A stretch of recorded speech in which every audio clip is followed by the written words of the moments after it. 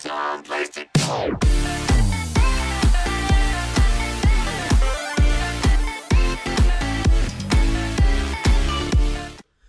Hey Leute, cool, dass ihr hier reinschaut und herzlich willkommen zu einem neuen Video.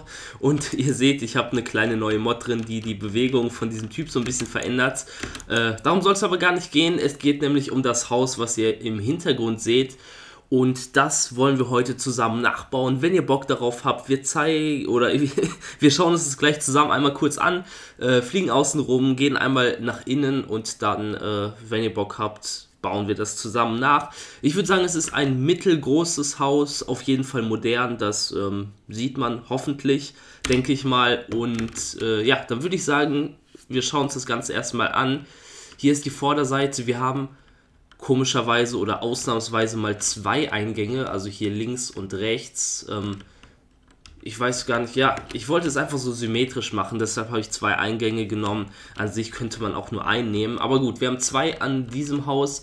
Wenn wir außen rumfliegen, sieht das Ganze so aus auf der Außenseite und auf der Rückseite fast so wie auf der Vorderseite, nur dass man keine Eingänge, sondern weitere Fenster hat auf der Unterseite. Und auf der Seite ist es genauso wie auf der anderen Seite. Also insgesamt ist es komplett symmetrisch. Ähm, von oben haben wir drei Dachfenster damit da auch ordentlich Licht reinkommt.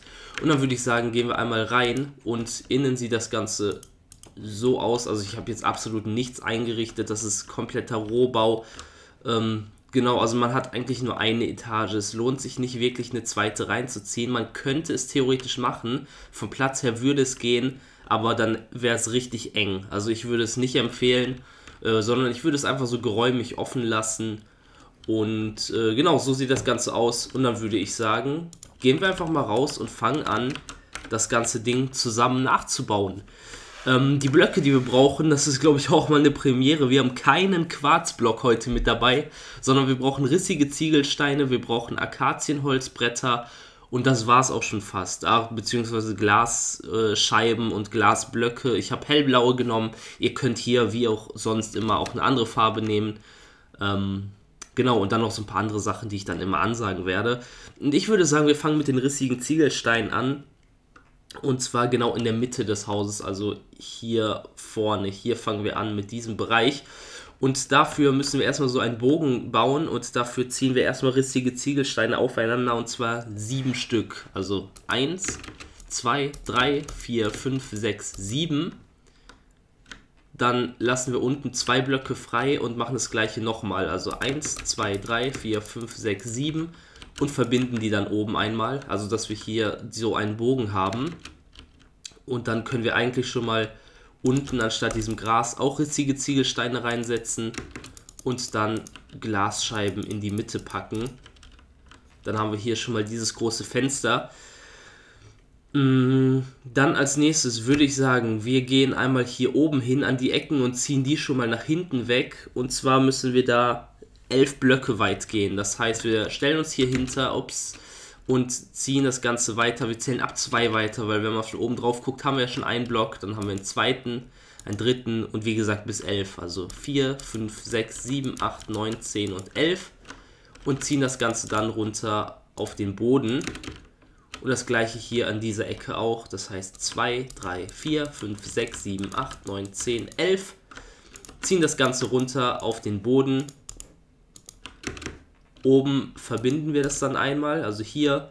Und unten tauschen wir das Gras aus mit den rissigen Ziegelsteinen und setzen dann auch hier Glasscheiben ähm, komplett dazwischen, dass wir hier so ein großes Fenster haben. Dann können wir einmal auf die Innenseiten gehen und rissige Ziegelsteine packen und also hier auf, der, auf den Innenseiten, das noch einmal hochziehen, also ein zweites Mal und dann noch ein drittes Mal und das gleiche hier auf dieser Seite und auf der Seite auch, das heißt hier ein zweites Mal und ein drittes Mal. Das ist von außen, also wenn man von der Seite drauf guckt, sieht das Ganze dann so aus. Ähm, und oben können wir dann auch hier nochmal zwei Blöcke reinsetzen und hier am Rand auch nochmal zwei Blöcke. Dann sieht das Ganze so aus. Ähm, genau, dann haben wir hier diesen mittleren Part fertig. Dann würde ich sagen, gehen wir einmal auf die rechte Seite, beziehungsweise ich überlege gerade, wie wir das am besten machen. Mm. Genau so. Wir, wir müssen jetzt einmal, wenn wir uns hier an diesem Block orientieren, an dieser Wand, in der Mitte davon lassen wir zwei Blöcke frei. Hier kommt nachher die Tür rein und hier auf den dritten, hier setzen wir einen rissigen Ziegelstein hin. Ne? Also ich gucke nochmal von oben, von allen Perspektiven drauf.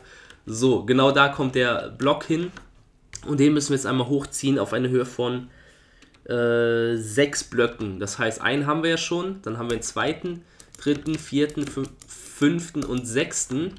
Ganz oben ziehen wir den 2 nach rechts, also 1, 2 und ziehen das dann einmal runter bis auf den Boden.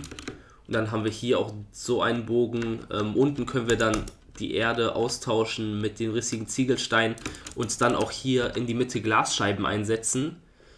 Ähm, genau das gleiche müssen wir auf der Seite machen, nur spiegelverkehrt. Das heißt, wir schauen uns hier wieder die, die Wand an. An dem mittleren Block lassen wir zwei Blöcke frei und auf den dritten, also hier, setzen wir einen rissigen Ziegelstein drauf.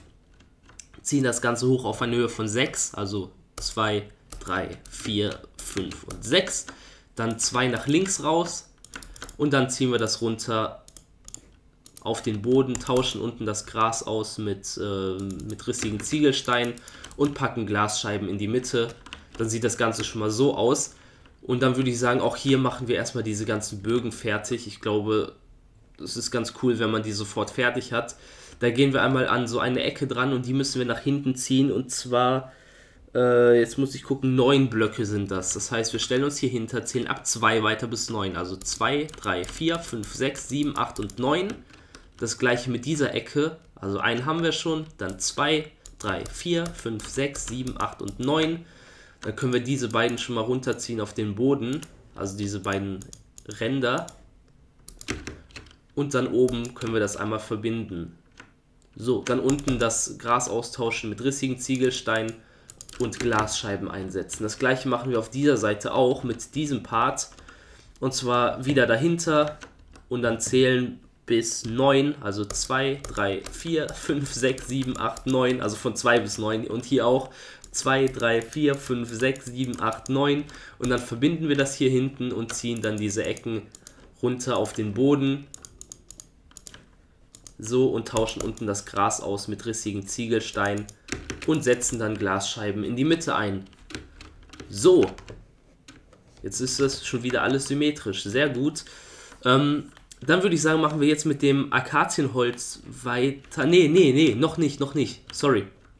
Vorher müssen wir wieder auf die Innenseiten gehen, jetzt von diesen kürzeren, von diesen kleineren Bögen und je, jeweils hier links eine Linie hochziehen und rechts auch eine Linie hochziehen.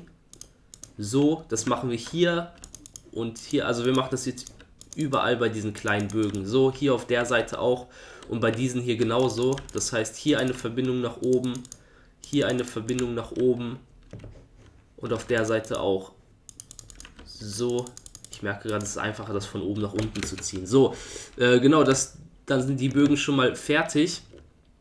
Ähm, und dann können wir oben hingehen und jeweils links noch einen Block reinsetzen und rechts einen Block reinsetzen. Hier das gleiche auch, also an den Außenseiten. Eigentlich ist es ja nicht links und rechts, sondern vorne und hinten. Aber ihr wisst schon, was ich meine. So, genau, dann haben wir die Bögen fertig und jetzt können wir mit dem Holz weitermachen. Und dafür gehen wir einmal zwischen den großen und den kleinen Bogen und auf der hintersten Ebene, also auf der innersten, ziehen wir auf der Höhe von 3. Also 1, 2, 3. Hier ziehen wir einmal Holz hin, eine Verbindung. Dann lassen wir einen Block frei und ziehen dann nochmal eine Holzverbindung hier hin und packen Glas in die Mitte ein. Dass das Ganze so aussieht. Hier machen wir genau das gleiche. Das heißt, auf dem dritten, also auf dieser letzten auf dem letzten Block hier auf der Höhe von 3 ziehen wir eine Verbindung, dann lassen wir einen frei, ziehen dann noch eine Verbindung und packen Glasscheiben in die Mitte. Dann sieht das Ganze so aus. Dasselbe machen wir jetzt auf der Rückseite auch. Also wie gesagt, das Haus ist komplett symmetrisch. Das heißt, man muss immer das gleiche mehrmals machen. Ähm, genau, wir gehen wieder auf den dritten, auf die Höhe von 3, ziehen eine Verbindung und dann lassen wir einen frei und ziehen hier eine Verbindung rein und dann Glasscheiben in die Mitte und hier das gleiche auch nochmal, also auf den dritten, auf der Höhe von 3 und auf der Höhe von 5, so und dann Glasscheiben in die Mitte. Ähm, so, und weil das hier die Rückseite ist, ziehen wir jetzt hier, also wir haben ja auf der Höhe 3 und auf der Höhe 5 eine Verbindung und auf Höhe 1 machen wir genauso auch nochmal eine Verbindung und ziehen Glasscheiben da rein und hier auch, also hier zwischen einmal unten Holz rein und dann Glasscheiben und dann haben wir hier so die Rückseite. Ähm, genau, auf der Vorderseite kommen da Türen hin, das können wir auch schon machen. Ich habe Birkenholztüren genommen und diese dann nicht von, au äh, von außen, sondern von innen reingesetzt. Also wenn man so im Hausinneren ist, einfach hier die Türen rein und hier nochmal Türen rein. Und wenn man jetzt von außen drauf guckt, hat man da diese Türen. Perfekt, sehr gut. Ähm, fehlen natürlich noch die Sachen hier an, den, an der Seite.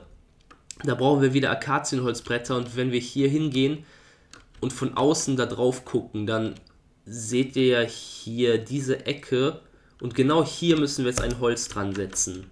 Ein Akazienholz. Und dann noch einen zweiten dran setzen. Dann ziehen wir den zwei Blöcke runter noch, also 1, 2 und gehen wieder an die Hauswand dran, also dass das Ganze so aussieht. Und hier in diese kleine Lücke, da kommt dann eine Glasscheibe rein. Ähm, genau, das gleiche müssen wir jetzt auf der anderen Seite machen, nur spiegelverkehrt. Das heißt, wenn wir hier drauf gucken, müssen wir dort einen Block hinsetzen, den noch weiter rausziehen, zwei runter und dann wieder an das Haus dran. Also, dass man hier so ein C hat und dann das Glas rein. Und das gleiche hier auf der Rückseite auch nochmal. Das heißt, hier ein Block dran, ein weiter rausziehen, zwei runter und wieder ans Haus dran. Also so. Und dann das Glas da rein. Und hier auf der Seite das gleiche. Also jetzt kommt hier nochmal so ein Bogen hin. Das heißt, wir visieren diese Ecke an, ziehen die zwei raus, zwei runter und ans Haus dran. Und die Glasscheibe in die Mitte. So, perfekt. Jetzt haben wir das. Ähm, was hier jetzt noch fehlt, ist, dass wir diese Seiten einmal komplett connecten. Das heißt, wir nehmen uns wieder Holz und fangen an, das von hier einmal rüber zu ziehen bis dahin. Auf der Unterseite genau das gleiche auch, so. Und dann können wir hier schon mal Glasscheiben reinpacken. Und das gleiche machen wir auf dieser Seite auch. Das heißt, wir connecten einmal hier die, Ober, die oberen beiden Ecken, dann die unteren beiden Ecken. Und dann Glasscheiben in die Mitte rein. Und dann haben wir hier das Fenster. Perfekt. So, als nächstes würde ich sagen, gehen wir hier in diesen unteren Part oder wenn man, wenn man so im Hausinneren ist, seht ihr hier diese rissigen Ziegelsteine und diese hier und die müssen wir jetzt einmal unten verbinden. Das heißt, von hier ziehen wir einmal rissige Ziegelsteine rechts rüber und dann noch ein zweites Mal. Und das gleiche auf dieser Seite hier auch. Das heißt, von hier, also das ist ja dieser äußerste Bogen, ziehen wir das einmal rüber bis auf die Seite und von hier einmal rüber auf die Seite. Der Grund dafür kann ich euch ganz einfach sagen, wenn man von außen drauf guckt, damit man hier eine solide Wand hat. Ähm, genau, so, dann würde ich sagen, nehmen wir uns Akazienholzstufen und hier an den äußeren Bereichen müssen wir einmal hier Akazienholzstufen entlang ziehen. Und das gleiche auf dieser Seite auch. Also hier unten Akazienholzstufen drauf. Ähm, auch damit man von unten, also damit das hier einfach komplett dicht ist. So, ne? Und das gleiche können wir dann auf der Oberseite schon mal machen. Also hier auch Akazienholzstufen entlang ziehen. Auf der anderen Seite genauso. Hier oben Akazienholzstufen entlang. Und dann können wir das hier zwischen auch machen. Also da, wo wir hier Holz haben, an der obersten Schicht davon nehmen wir uns wieder Akazienholzstufen und ziehen die einmal rüber bis auf die andere Seite, bis sich das damit verbindet. Und hier dasselbe noch einmal. Also nicht hier oben drauf, sondern hier dran. So. Dann einmal bis dahin rüber und dann so. Dann brauchen wir wieder rissige Ziegelsteine und ihr seht ihr hier diese Lücken und die müssen wir jetzt zumachen, indem wir, also es ist ja dieser große Bogen, an diesen Verbindungen hier unten noch jeweils einen Block dran ziehen und auf der Seite auch jeweils einen Block dran ziehen. So, dann ist das Ganze zu. Und was jetzt noch fehlt, sind eigentlich nur noch diese Dachfenster. Und die haben wir schon perfekt so geformt, dass wir nur noch Glasblöcke brauchen und die hier einsetzen müssen. Also hier und hier komplett Glasblöcke rein und hier Glasblöcke rein. Ups, so, der war zu viel. Und damit sind wir eigentlich schon durch. Ich fliege gerade noch mal außen rum und gucke, ob noch irgendwo was offen ist, aber es sieht nicht so aus. Ähm, ja, genau, was dann noch fehlt, ist, sag ich mal, dass man den Boden verändern kann. Ähm, gut, das mache ich jetzt nicht, das kriegt ihr selber hin. Einfach überall da, wo Gras ist, macht ihr dann irgendeinen Boden rein. Ich habe hellgraue Wolle genommen. Ich finde, das passt eigentlich farblich ganz gut dazu. Gut, hellgraue Wolle, muss ich sagen, passt immer farblich dazu, weil es ja keine wirkliche Farbe ist. Aber ähm, ja, jedenfalls habe ich diese Farbe genommen. So, hier seht ihr das. Könnt aber natürlich auch eine andere Farbe nehmen. Und äh, ja, wie gesagt, das war's eigentlich schon mit dem Haus. Und falls euch das Ganze gefallen hat, meine Freunde, ich mag das nicht, wie der hier fliegt. Das sieht irgendwie komisch aus. Ich stelle mich mal auf den Boden. So. Besser, okay. Ja, falls euch das Ganze gefallen hat, äh, dann lasst gerne ein Like da, lasst ein Abo da. Und ansonsten findet ihr das Haus natürlich wie auch sonst immer auf meiner Website. Ähm, postet es auch gerne auf Instagram mit dem Hashtag JannisGerzen. Ich versuche auf Instagram wieder ein bisschen aktiver zu werden. Ähm, oder auch in die Jannis-App rein. Und ansonsten wirklich nochmal vielen, vielen Dank. Und ich würde sagen, bis zum nächsten Mal. Haut rein, meine Freunde. Ciao. Ciao.